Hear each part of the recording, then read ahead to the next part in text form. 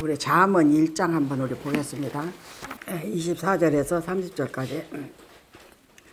내가 부를지라도 너희가 듣기 싫어하였고 내가 손을 펼지라도 돌아보는 자가 없었고 도리어 나의 모든 교훈을 멸시하며 나의 책망을 받지 아니하였은즉 너희가 재앙을 만날 때에 내가 웃을 것이며 너희에게 두려움이 임할 때에 내가 비웃으리라 너희의 두려움이 강풍같이 임하겠고 너희의 재앙이 폭풍같이 이르겠고 너희에게 근심과 슬픔이 임하리니 그때에 너희가 나를 부르리라 그래도 내가 대답지 아니하겠고 부지런히 나를 찾으리라 그래도 나를 만나지 못하리니 대저 너희가 지식을 미워하며 여호와 경외하기를 즐거워 아니하며 나의 교훈을 받지 아니하고 나의 모든 책망을 없인 여겼습니다.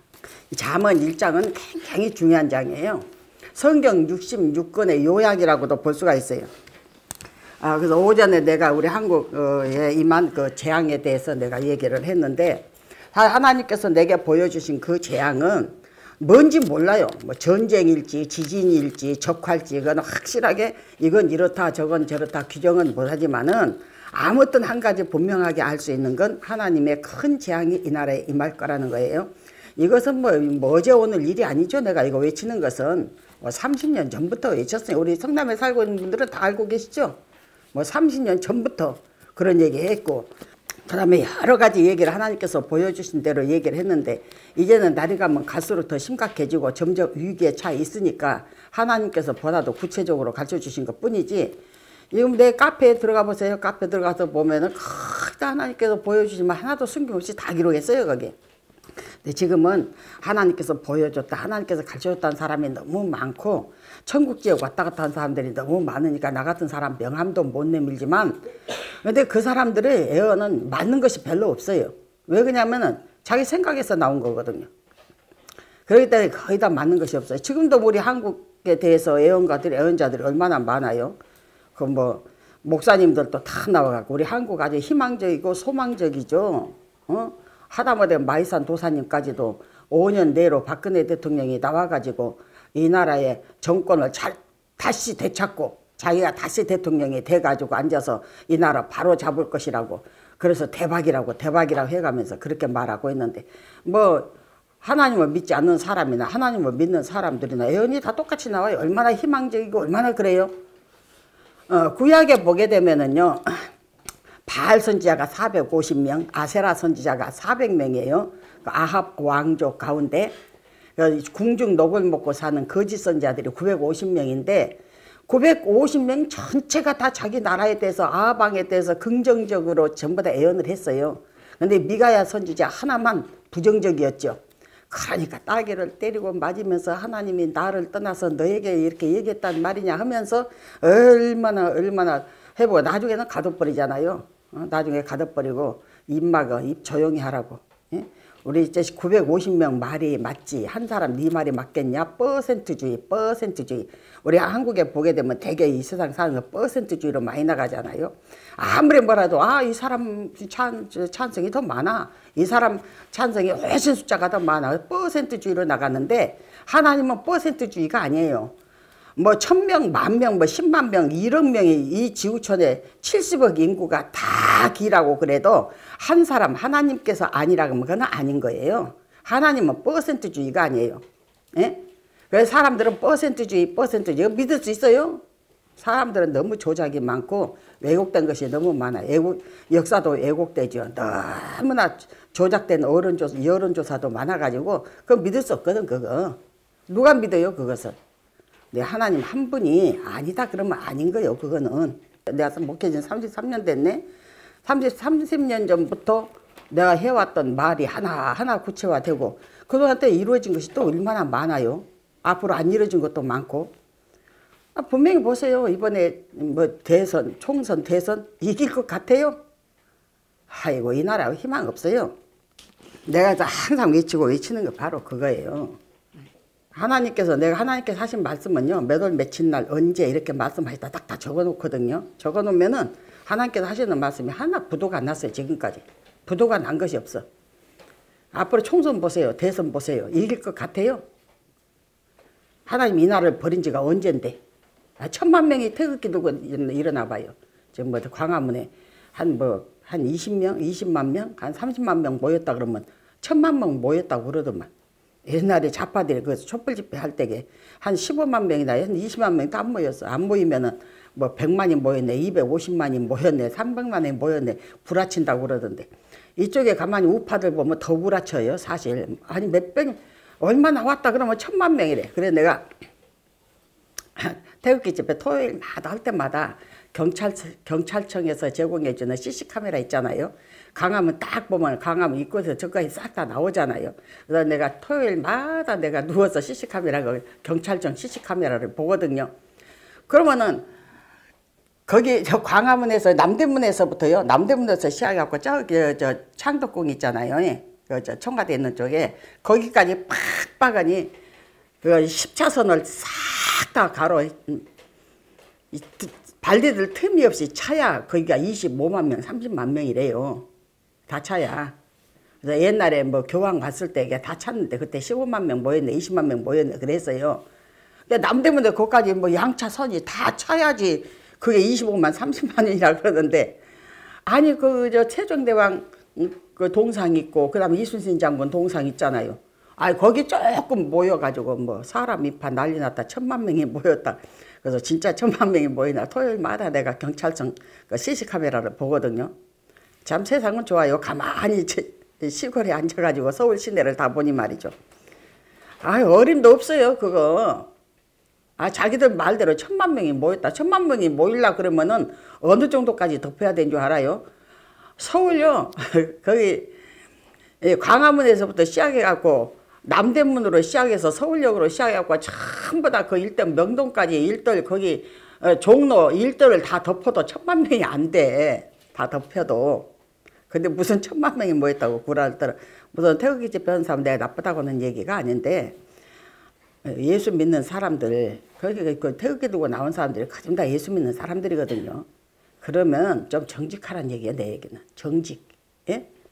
우리 기독교인들이 정직하지 않아서 하나님의 뜻대로 못 살아서 이 나라 재앙이 오는 거요.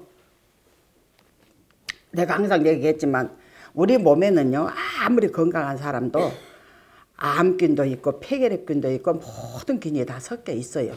그렇지만 건강한 사람들은 저항력이 있고 명령력이 있어가지고 그걸 다 이기기 때문에 건강하게 사는 거예요. 그러나 그 사람이 정도 건강 리듬이 깨져버리고 그 몸이 약하잖아요. 그러면은 속에 들어있던 그 잠재되어 있던 그 어, 나쁜 그 균들이 활성화가 되게 돼 있어요. 어느 한쪽이 약하면 어느 한쪽이 강하고 어느 한쪽이 강하면 어느 한쪽은 약하게 돼 있어요. 네? 그래서 우리 어느 나라든지 간에 좌파 우파는 다 있어요. 어느 나라든지. 미국에도 좌파가 있고 어떤 나라든지 좌우파 없는 데가 없어요. 그런데 우리 한국 같은 좌파는 좀 희귀하고 좀 특이한 좌파지요.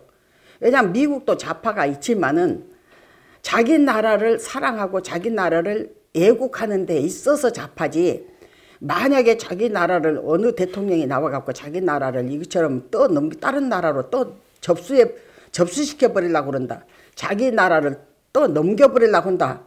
또 자기 나라를 팔라고 한다. 자기 나라의 위기를 조작할 수 있는 사람이 나왔다면은 그, 그 사람 가만 안 둬요. 그때 좌파 우파가 하나가 돼서 그 사람 가만 안, 놔주, 안 놔주지요.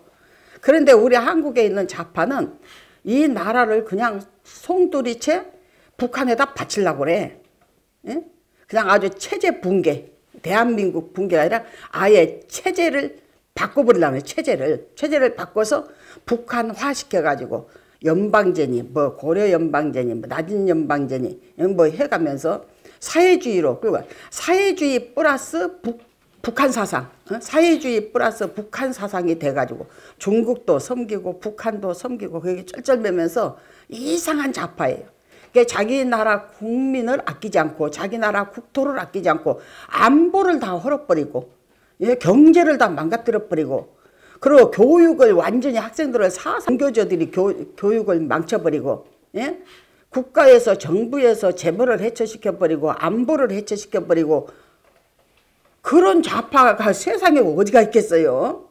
자기 나라 국민은 아끼지 아니하고 중국에서 내려온 사람들은 우리 한국 못지않은 대우를 다 해주고 아, 참으로 참 이상한 나라예요. 자기 나라 국민은 개돼지를 알아버리고 자기 쪽에 자기 쪽에 호응하고 자기 사상에 호응한 사람들만 국민이에요. 그 외에 태극기 집회를 들었던지 이 나라를 근심하고 걱정하고 이러다 적화된 거 아니야? 된 거 아니야? 킬링필드가 되는 거 아니야? 이 나라 혹시 또 보드피플이 되는 거 아니야? 이거 큰일 났네? 그렇게 걱정한 사람은 다 적폐 대상이에요. 적폐 대상. 아, 이상한 나라, 이상한 나라. 아주 한 번도 경험해 보지 못한 나라를 세우겠다고 그러더니 저 나라가 어떤 나라인가 하고 누구 봤더니 이제 점점 두각이 드러나는데 진짜로 한 번도 경험해 볼 수 없는 나라라. 옛날에는 말이죠. 일제 36년 동안에는 얼마나 일제 치하에서 얼마나 우리가 고난을 당하고 기독교 탄압을 당하고 말이죠. 정말로 어, 우리나라 주권을 잃어버리고 일본 사람들이 와갖고 이 나라를 36년 동안 지배했을 때 얼마나 어렵고 의병도 많이 일어나고 애국자들도 많이 일어나고 정말 우리 대한민국에 있는 본토인들은 별로 혜택을 누리지 못하는 그런 시대로 살았지만 그래도 그런 나라를 말하는 건가? 이거 한 번도 경험해 보지 못한 나라가 도대체 어떤 나라야? 하고 봤더니 그 나라가 바로 이 나라. 근데 아직까지 우리 서민들에게는 그게 아직 안 미쳐. 처음에 문정권 들어서고 그냥 한 1, 1, 2년 정도 됐을 때 됐을 때에는 주로 적폐다 적폐다 해갖고 앞정권들 뭐 이명박 정권에 있는 음, 정치인들 또 박근혜 치하에 있었던 정치인들 그런 사람들하고 적폐로 막 뭐라 막 붙였었지요. 그랬을 때는 뭐 검찰도 동, 뭐 동원하고 모든 언론 나팔수들이 다 동원해갖고 문정권 지지율이 80%다 70%다 90%다 난리가 나고 김정은이하고 판문점에서 만나니까 뭐 박수를 치고 그 난리를 내고 평화가 왔다고 이 나라 한반도 평화가 왔다고 얼마나 좋아했어요.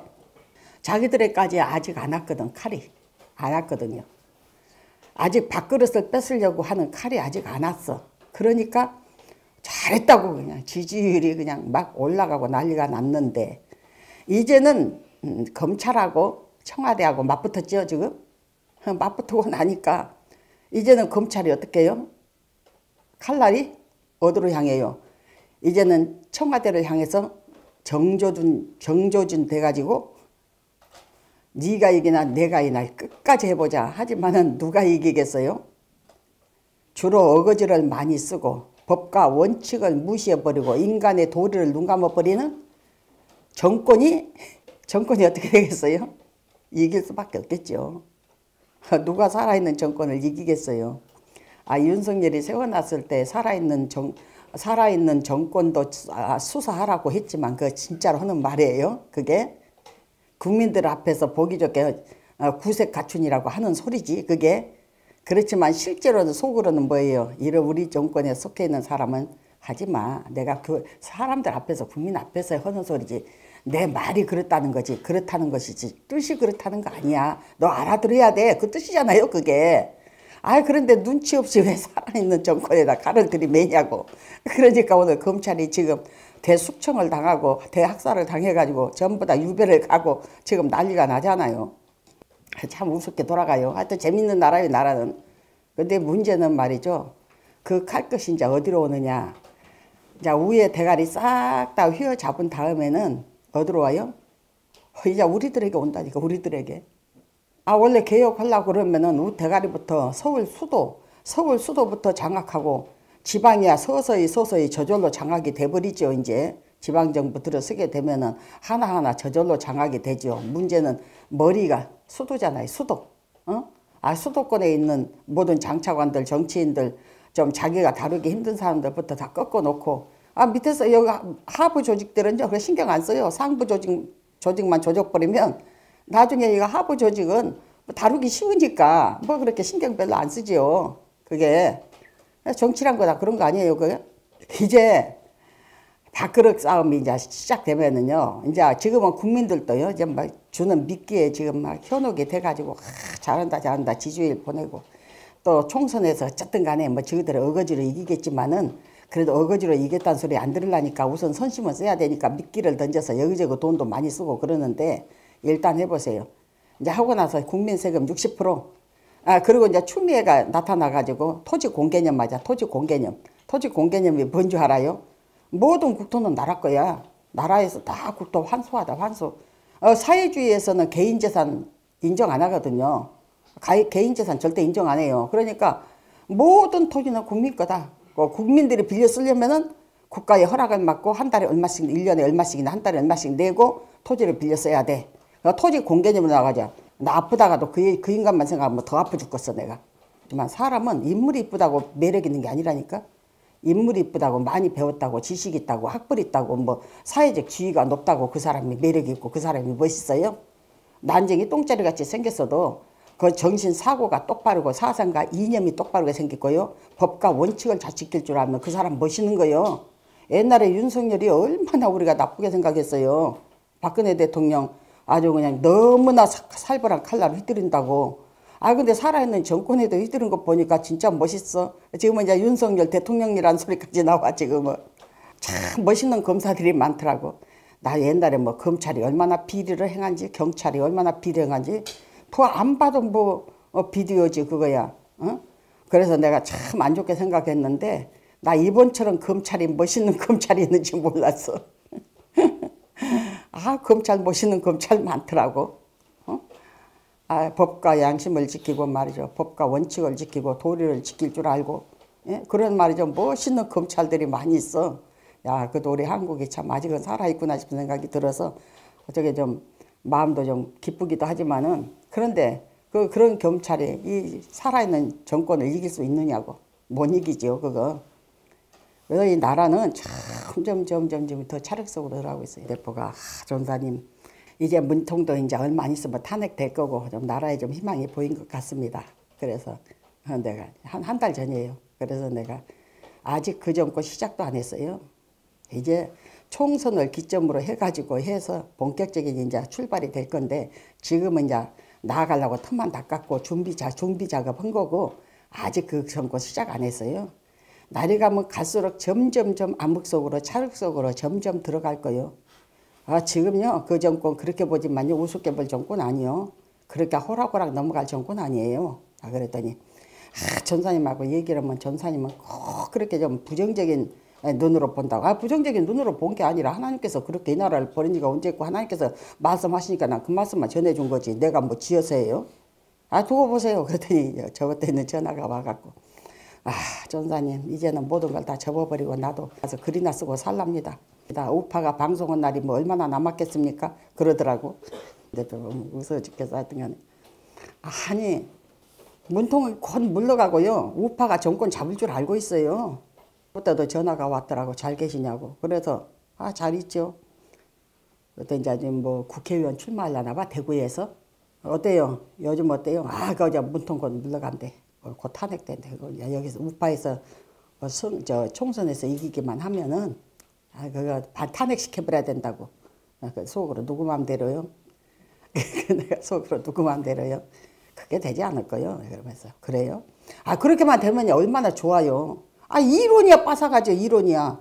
우파가 하나로 똘똘 뭉쳐서 어? 우파가 똘똘 하나로 뭉쳐가지고 하나가 돼서 총선에서 이기고 그래서 국회 200석 이상 차지하고 그래서 그들이 어떤 안을 내도 통과 못하도록 그 200석이 맞고 아 그렇게 해서 해 나간다면 뭐 가능하겠지요 이론적으로는 가능하지요 그런데 실제로 되느냐 안 되느냐 두고 봐야 한다니까는 그거는 우리 기독교인이요.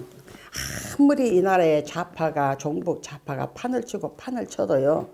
우리 기독교가 건전하고 그 주의 종들이 똑바로 서서 정말 천국 공무원으로서의 그 사명 싹 잘 감당하면서 그 약물이 자기도 하나님의 뜻대로 살면서 그 약물이도 뜻 하나님의 뜻대로 살도록 그 영혼을 사랑하고 그 영혼을 바로 똑바로 인도했더라면 오늘날 이 나라가 이 지경까지 안 와요. 왜? 건강한 사회가 되니까. 아무리 우리 몸에 여러 가지 병균이 잠식하고 있어도 다른 곳이 건강해 버리면 그들이 활기를 못 친다니까는요. 응? 근데 건강 리듬이 깨져버리면 그들이 활기치게 돼 있어요. 그러니까 유기적 구심점으로서의 우리 기독교가 똑바로 살면은 그들이 아무리 저기를 해도 길을 못 피고 살게 돼 있어요. 예? 길을 못 피고 살게 돼 있어.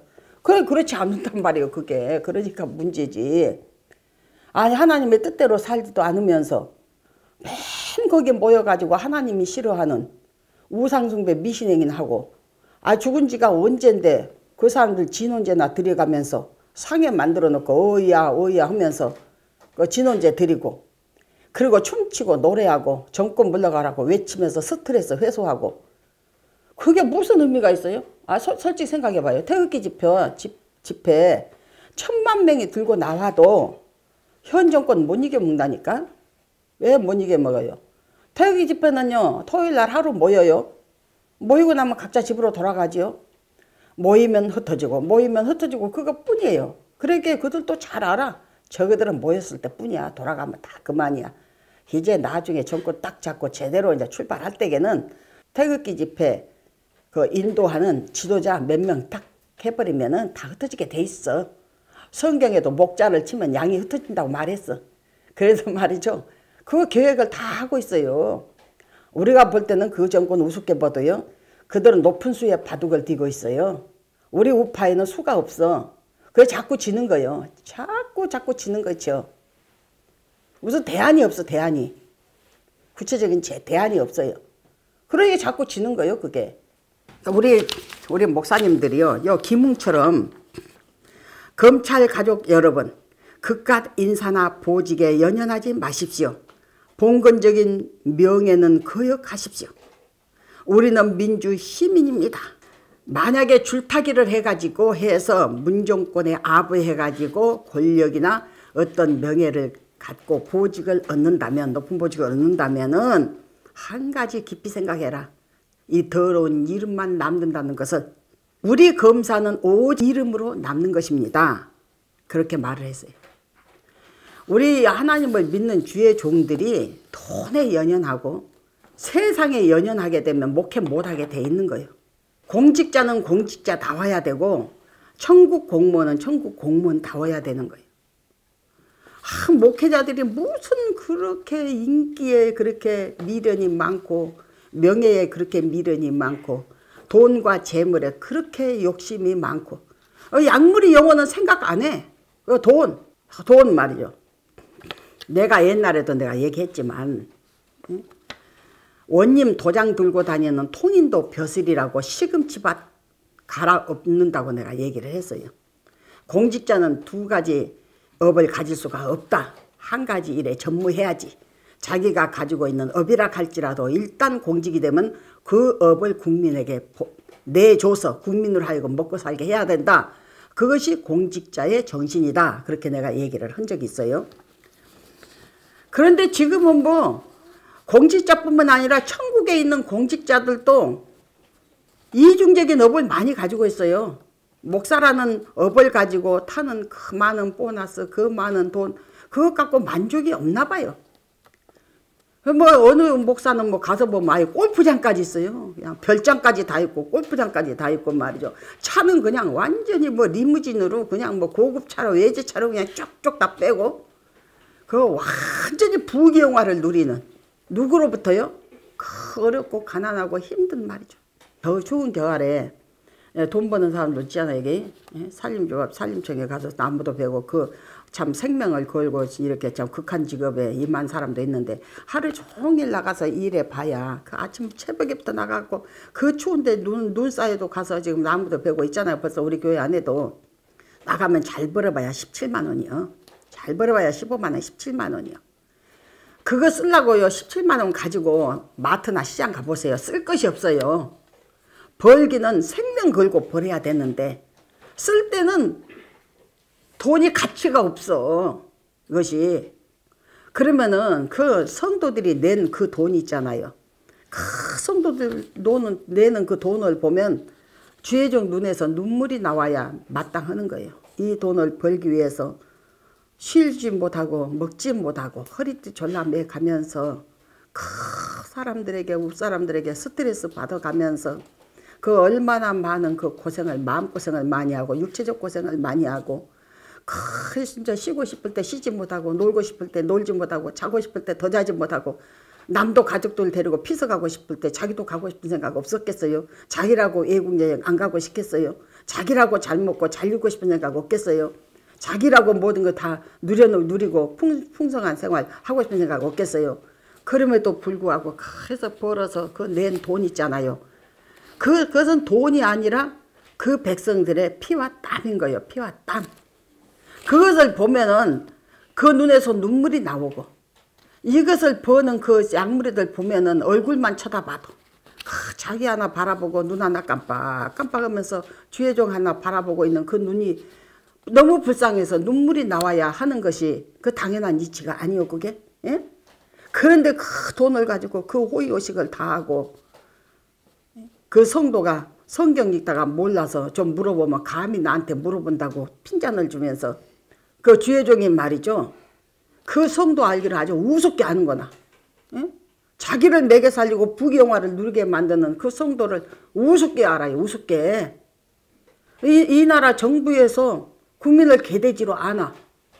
여기 주의 종들이 자기 밑에는 그 천하보다 더 귀한 약물이 피 흘려 값주고 사신 하나님의 그 약물이를 보는 것을 개돼지로 안아. 뭐가 다른 것이 뭐가 있어요. 멋있는 여신도 다 따쳐먹고 예? 술 처먹고 담배 피우고 해외여행 다 떠나고 자기 누리고 싶은 거 다 누리고 자기 할 거 다 해가면서 아, 이, 이 나라 공직자 비리 많다. 이 나라 공직자 나쁘다고 어, 내려와라 청와대에서 내려와라고 탄핵하라고 그 자격 있는 사람들이 모여서 지금 저렇게 하고 있는 거예요. 내가 태극기 집회라도 있고 그 바른 말 하는 사람이 있, 있어야 된다는 건 알고 있지만 자기들이 똑바로 바로 살면서 그 인도하라 그 말이에요. 철저하게 회개운동이 일어나 회개운동이 영적 대 각성운동이 일어나야죠. 예? 하나님 우리가 잘못 살았습니다. 우리가 잘못했습니다. 하나님 용서해 주세요. 종교 개혁 운동이 일어나고 회개 운동이 일어나야 될 거 아니에요? 아 모여서 찬송 좀 부르고 기도한다고 뭐 현 정권에 대해서 외친다고 뭐가 달라져요? 그걸 외친다고 해서 현 정권이 아이고 저 외치네 내가 내려가야 되겠네 물러나야 되겠네 해요? 아, 어리석은 짓좀요. 나 그만하라 그 말이요 내 말은. 저 하나님께서는 이 나라의 흥망성쇠가 하나님의 절대 주권에 달려 있고 인간의 생사 화복이 하나님의 절대 주권에 달려 있어요. 하나님으로부터 복이 나오는 거고 전쟁에 망하고 흥하고 패하고도 하나님의 절대 주권에 있다고 그랬어요. 이스라엘 나라가 하나님의 뜻대로 못 사니까 아수르 칼날에 먹혀버리잖아요. 남쪽 유다가 하나님의 뜻대로 못 사니까 바벨론 칼에 삼켜운 바 돼버리잖아요. 역사가 그걸 말해주고 있는 거예요. 그게. 우리 기독교인들이 보다 건강한 신앙생활을 해, 해보세요. 늘 회개하고 고치고 회개하고 고치고 잘못된 정신, 잘못된 행동, 잘못된 말들 그거 하나 놓고 회개하고 하나 놓고 회개하고 하나님 내가 잘못했습니다. 또 죄를 지었습니다. 하나님 잘못했습니다. 이 죄 때문에 주님 십자가에 못 박게 돌아가셨는데 내가 오늘 또 이 죄를 지어서 주님 가슴에 비수를 꽂았습니다. 등에 가슴에 칼날을 꽂았습니다. 하나님 용서해 주세요. 내가 잘못했습니다. 가슴 치고 통회하는 자복 운동이 일어나야죠. 그래서 하나님 그래서 이 그렇게만 회개 운동이 일어나면 하나님 이 나라 바로 세워 주세요. 이 나라가 어렵습니다. 그런 기도 안 해도 하나님이 다 해줘요. 해줘. 하나님이 눈이 없어서 못 보고 귀가 없어서 못 듣고 손이 없어서 손이 짧아서 하나님의 능력이 없어서 그냥 나랑 너희들 적화가 되든지 망하든지 말든지 냅둬버리겠어요. 하나님께서. 우리가 이거 똑바로 해야 돼. 지금 이 나라는 태극기 드는 것이 문제가 아니라니까. 근본적인 문제를 해결해야 돼. 근본적인 문제. 근본적인 문제가 바로 뭐예요? 철저하게 회개하는 거예요. 회개. 예? 회개하고 돌이튼 거예요. 맨 먼저 누가 먼저 회개해야 되겠어요. 주의 종이라는 목사, 전도사, 강도사 그런 사람들이 회개해야죠. 얼마나 많은 죄를 지고 우리 한국의 재앙을 불러들인 사람들이 그들이잖아요. 아 무슨 체면수를 배워가지고 성령 역사라고 속이고 얼마나 얼마나 그 사람들을 많이 속였어요. 돈과 재물을 뜯기 위해서. 어? 무슨 아말감 이빨이 금이빨로 변해요. 예? 무슨 뭐 설교할 때마다 하늘에서 금가루가 떨어지고 야, 이런 사기꾼들 대사기꾼들이 목회를 하면서 이 아주 하, 한국 기독교를 완전히 싸그리 완전히 그냥 마귀 나라의 통째로 넘겨줘 버린 거예요. 아 이 나라 천국 공무원이라고 하는 사람들이 공무원 사명 안 하고 그 나라 자기 백성들을 사탄 나라에 도매금으로 넘겨버리나 이 나라 공직자들이 이 나라 북한에 내 돈, 저, 어, 뭐 집어 넘겨 버리나? 뭐 다른 게 뭐가 있어요? 우리 기독교인들이 하는 그대로 갚고 있는 거예요. 지금 하나님께서. 이제 보세요. 기독교인들 대환란이 일어날 테니까 기독교인들 제대로 두고 볼 것 같아요. 하는 그대로 두고 볼 것 같아요. 아직 그들은 시작 안 했어요. 지금 2년 반 동안은 뭐 했느냐? 기초작업했어. 기초작업. 이제 총선을 기점으로 해서 본격적으로 나간다니까는요.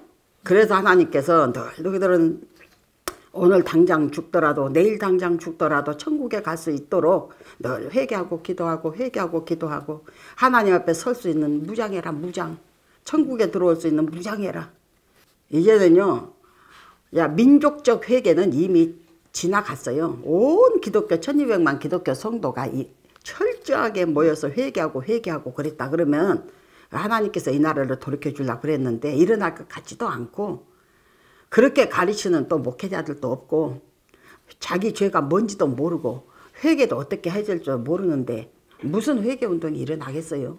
가망이 없어요. 가망이 없어. 내가 이당초 그랬잖아. 3년 전부터 그랬잖아요. 천만 명이 태극기 들고 일어나 보라고 이 정부 바로 고칠 수 있나. 들고 일어나 보라고 내가 그랬잖아요. 3년 전부터. 안 되는 거예요. 안 돼. 그거. 되지 않는 거예요. 그래서 여기에 보게 되면은요.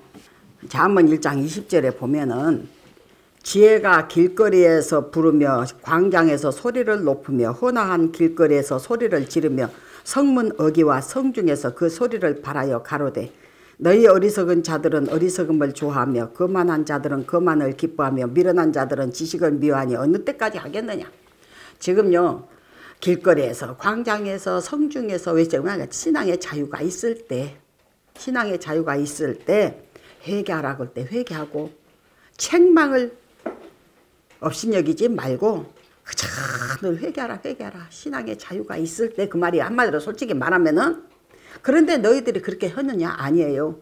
잘 살면 잘 살 더 잘 살수록 편안해지면 더 편안해질수록 하나님을 더 멀리 떠나고 더 멀리 떠난다고. 이사야서 1장은 그렇게 말씀을 하고 있어요. 나의 책망을 듣고 돌이키라. 보라 내가 나의 신을 너희에게 부어주며 나의 말을 너희에게 보이리라. 우리가 책망을 듣고 철저하게 회개하면은 어? 책망을 듣고 철저하게 회개하면 하나님께서 성령 너에게 부어줄게. 성령이 뭐예요? 보혜사요 보혜사. 우리를 지키고 우리를 도와주고 환란에서 어떤 환경에서도 우리를 구원해 줄 수 있는 보혜사를 보내주겠다는 거예요. 그리고 하나님의 말씀을 내가 너에게 주겠다. 하나님의 뜻대로 사니까 하나님께서 나에게 그렇게 말씀을 주시잖아요. 주실 뜻대로. 어? 하나님께서 주시니까 우리 송주교회는 이 나라가 앞으로 어떻게 될 것까지 다 알고 지금 나가고 있는 거잖아요. 근데 그러지 않아요. 다른 교회는 그렇지가 않아요. 24절에 보면 내가 부를지라도 너희가 듣기 싫어하였고 내가 손을 펼지라도 돌아보는 자가 없었고 도리어 나의 모든 교훈을 멸시하며 나의 책망을 받지 아니하였은즉 너희가 책망을 만날 때에 재앙을 만날 때에 내가 웃을 것이며 너희에게 두려움이 임할 때에 내가 비웃으리라 그랬어요. 우리 카페에 있는 이제 그 단톡방에나 우리 카페에 있는 사람들이 내 가르침을 받고 정한 교회 없이 집안에서 나홀로 신앙하면서 내 가르침을 받고 있잖아요. 너무 귀한 말씀이고 또 좋으니까 교회 다니는 사람한테 얘기를 하면은 나보다 사입이 2단이라고 그러는데 그래 사입이 2단에 빠져갖고 그런다고 어? 그래가면서 어디 그런 일이 어디냐고 그 무슨 회개냐고 예수님께서 십자가에 못 박혀 돌아가심으로 인해서 우리 죄를 다 사했고 우리는 천국 백성이 돼버렸는데 무슨 죄를 또 무슨 회개를 하냐고 무슨 회개가 있냐고 그래가면서 회개에 대해서 가르쳐주면은 우리 보고 이단이라고 사기라고 그러는데 저기 저 어, 사입이라고 그러는데요 사입이 그렇게 말한다고 전사님. 아무리, 아무리 전사님 설교를 들려주고 전사님 하시는 말씀을 해줘도 먹혀 들어가지가 않아요. 아니 똑같이 한 하나님을 믿어요. 예? 천지와 우주와 만물을 만드신 하나님. 우리 죄를 위해서 십자가에 못 박게 돌아가신 예수 그리스도 또 우리에게 보혜사 성령으로 와 계신 그, 그, 그분에 대해서 똑같이 믿어. 똑같이 하나님을 믿어요. 그런데 1200만 명의 예, 기독교인들이 전부 다 신앙이 달라요. 교리도 다르고 사고도 다르고 모든 것이 다 달라. 안 통해요. 왜 안 통한지 그걸 모르겠어. 왜 그래요?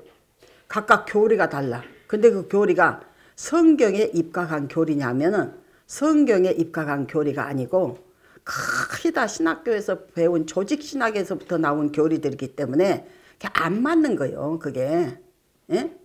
조직 신학이 내가 다 틀렸다는 얘기는 아닌데 섞여 있어, 섞여 있어. 어떤 것은 맞고 어떤 것은 틀려. 그런데 무조건 다 받아들여 버리는 게 그것이 문제가 되는 거예요. 조직신학을 배운 사람들도 한결같이 그래요. 예수님은 우리 죄 위해서 십자가에 못 박혀 돌아가셨기 때문에 우리는 회개할 필요도 없어. 성경대로 살 필요도 없지만 주님께서 우리를 위해서 십자가에 못 박혀 돌아가셨기 때문에 그분 은혜에 대해서 고마워서 감사해서 하나님의 뜻대로 살려고 하는 거지. 그러면 감사하지 않으면 하나님의 뜻대로 안 살아도 구원 얻는다. 그 말이잖아요. 역으로 생각해 보면은 이런 엉토당토하는 소리를 하고 있다니까는요. 우리는 한국 백성이니까 한국법 안 지켜도 되나요? 예? 우리 한국 백성이니까 한국법 안 지켜도 돼요? 오히려 한국 백성 아닌 밀립과 밀립작국이라 불법 체류자들은요 우리나라 법 안 지켜도 돼. 어차피 나라의 보호도 안 받을 거니까. 그렇지만은 우리나라 국민들은요 그 의무가 있잖아요. 백성의 의무도 다 하면서 국가의 보호도 받을 수 있는 그 권리가 보장돼 있는 거잖아요. 그것이 국가고 정부인 거요 그게. 아 그런데 우리 천국 백성이라 그러면은 천국법을 누구보다 잘 지켜야죠. 그런데 우리는 천국의 백성들이니까 천국법 안 지켜도 돼. 천국법이 바로 뭐예요? 성경이잖아 성경. 성경대로 안 살아도 돼. 내가 하나님이라도 그런 사람 구원 안 시킨다. 솔직히 말해서. 그래 싸가지 없고 버리장머리 없는 거 어떻게 천국에다 데려다 놓냐 그거. 내가 하나님이라도 안 지켜 나는 그런 인간. 도리를 아나. 도리도 없어요. 도리도 없어. 우아리도 없어요. 아, 뭘 갖고 신앙생활을 해야 되는지 어, 고쳐야 될 점을 하나하나 따지면 어디서부터 손을 대서 어디서부터 시작해서 가르쳐야 될지 가닥이 안 잡힌다니까는요. 뭐 그런 인간들이 있는지 몰라. 내가 기독교인지만은 예? 나 기독교인들 보게 되면 저게 진짜 기독교인가?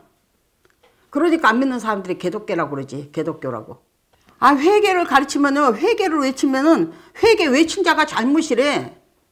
무슨 회개가 필요하냐고. 이렇게 답답한 노릇 세상에 어디가 있어요 그게. 왜 같이 하나님을 믿고 똑같이 성경 하나로 갖고 사는 사람들이 왜 이렇게 안 통할까요? 그러니까 하나님께서 너희들이 아무리 아무리 말을 해도 내 말 너희들이 안 듣고 회개도 안 해. 죄를 인정도 안 하고 죄가 뭔지도 모르고 어떻게 회하게 회개해야 될 줄도 모르고 신앙생활하고 하는 것이 바로 뭔지도 모르는 너희들 내가 언제까지 참겠느냐? 뭐라고 그랬어요? 너희가 재앙을 만날 때에 내가 웃을 것이며 너희에게 두려움이 임할 때에 내가 비웃으리라. 우선 먹기는 꽃감이 달다고 평화 안 하고 안전할 때 하나님의 뜻대로 살라 그러면은 책망하는 사람들을 업신여기고 무시보고 오히려 더 어? 자기들이 교만하고 자만해가지고 오히려 이단 사이비로 몰아붙이지? 그래. 나중에 봐라. 누가 승리자인가? 나중에 웃는 자가 승리자다. 예? 하나님께서요 그렇게 지금 말씀을 하시는 거예요 그게. 너희가 재앙을 만날 때에 내가 웃을 것이며 너희에게 두려움이 임할 때에 내가 비웃을 것이다. 너희의 두려움이 광풍같이 임하겠고 너희의 재앙이 폭풍같이 이르겠고 너희에게 근심과 슬픔이 임하리니 이 말씀 하나님께서 우리에게 주신 말씀이에요. 이 나라가 앞으로 이렇게 될 거라고. 그러면은 우리가 생각할 때 종북 좌파가 이 나라 이렇게 망치고 있어. 그러지만 실제로는 하나님 눈으로 볼 때 근본을 따져볼 때 기독교인들 때문에 망한다는 거예요. 이 나라가. 하나님의 뜻대로 살지 못하고 이론과 지식만 무성하고 정직한 행위는 없고 거룩한 행위는 없고 공의는 찾아볼 때가 찾아볼 수가 없고 그렇게 산 기독교인들 때문에 내가 종북 좌파를 지금 꿈틀거리게 하고 있어. 번성하 그들에게 힘을 내가 지금 실어주고 있어. 하나님께서 그러고 계신다니까는요. 저 종북 좌파 문정고 그냥 일어난 게 아니라고. 하나님께서 그랬잖아요. 기독교가 빛을 발하지 못하고 정직하지 아니하고 거룩하지 아니하고 공의를 행치 아니하고 의롭지 아니할 때 나는 그 반대편의 적을 강성시켜 버린다고. 그래서 기독교가 먹히게 만들어 버리는 거예요. 인간의 눈으로 볼 때는 종북 좌파죠. 종북 좌파들. 저 나쁜 놈들이 이 나라 이렇게 지금 적화로 몰고 가고 있어. 사회주의로 몰고 가고 있어. 그렇게 하고 있지만 하나님 눈으로 볼 때 아니다. 내가 종북 좌파가 무서워서 어, 그들의 힘을 내가 제, 제압을 못해서 이렇게 한 줄 아냐?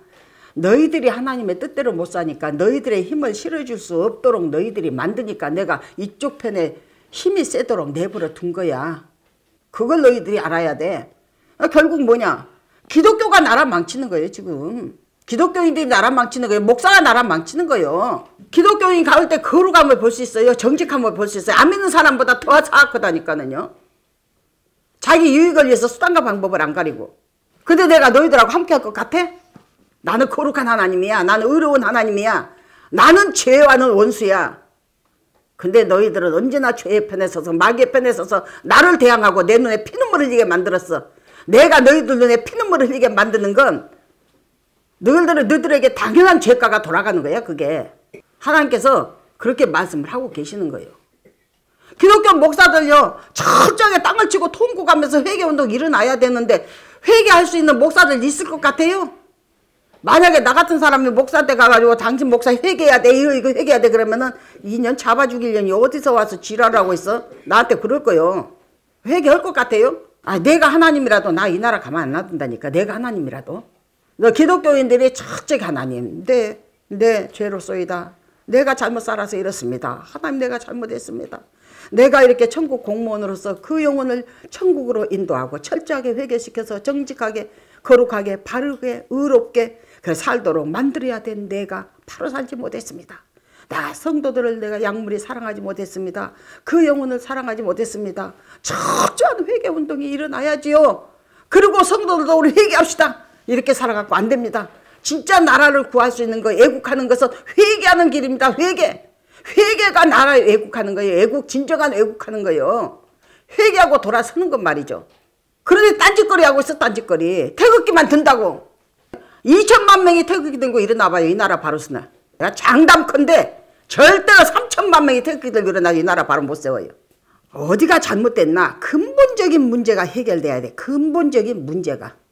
그 사람들은 어차피 종북 좌파들이 어차피 카톨릭이고 어차피 우리하고 교리가 틀려 사상이 틀려 사상과 이념이 틀린 사람들이 그렇게 나간 거 당연한 거예요 그거는 아 예수도 모르고 하나님도 모르고 천국도 지옥도 모르고 죄도 모르는 사람들이 죄 짓는 거 오만 잡질 다 하는 거 그거 당연한 거지 그러나 살아계신 하나님을 믿는 기독교인들은 그렇게 살면 안 되잖아요.